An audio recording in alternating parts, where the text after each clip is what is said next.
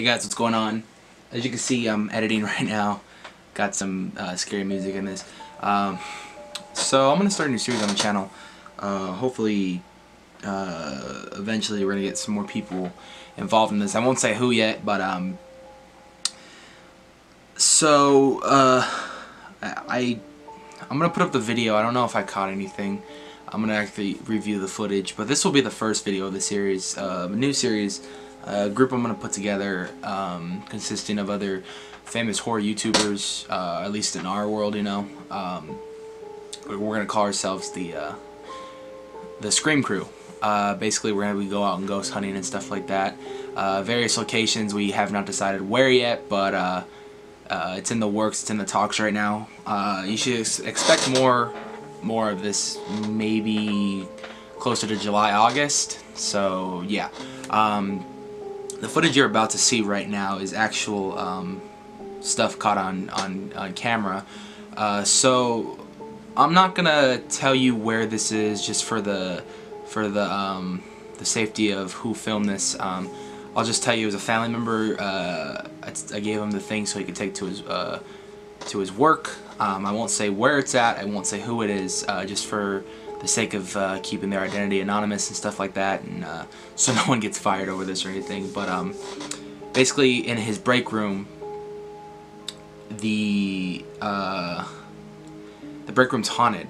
So basically, he was explaining it to me like this: that um, I guess in the break room, it's pretty it's pretty dark in there, so there's not a lot of light. The only the only light they'll get when they eat lunch in there is from their phones, either when they're watching like uh, something on their phone, like from YouTube or something like that. And um, one of the coworkers one day came out and told him that he saw something in there. Uh, more or less uh, a chair moving on its own. So that was like the backstory. My uh, the person didn't believe him, so he asked me if I can if he can use my ghost tracker, which is happens to be in my pocket. he gave it to me. He asked if he can use this. Uh, if you guys don't know what this is, it's the EMF meter. Uh, basically, you turn on like so, and the lights will go uh, to like yellow and everything. Uh, if there's a uh, any uh, electromagnetic field.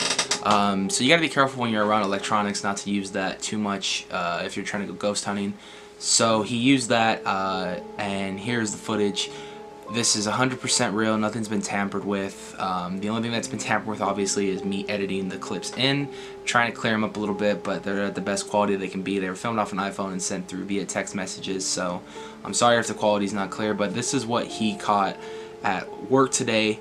Um, and I'm very excited to be bringing you this as the first episode. So thank you guys for watching and stay tuned to the end. Uh, maybe I can give you more details of what's going on. Bye.